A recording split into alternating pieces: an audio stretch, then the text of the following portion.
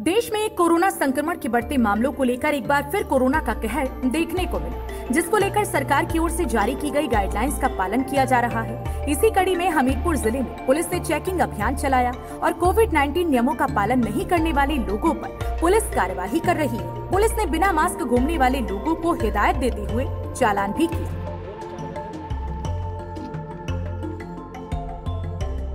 दरअसल जिला मुख्यालय पर लोगों ने कोविड 19 नियमों का पालन नहीं किया, जिसको लेकर पुलिस ने चेकिंग अभियान चलाया और जो लोग मास्क नहीं पहन रहे थे, उन लोगों के खिलाफ पाँच सौ रूपए का चालान भी किया गया। इस दौरान लोगों ने मास्क पहनना, नियमों का पालन करना शुरू कर दिया।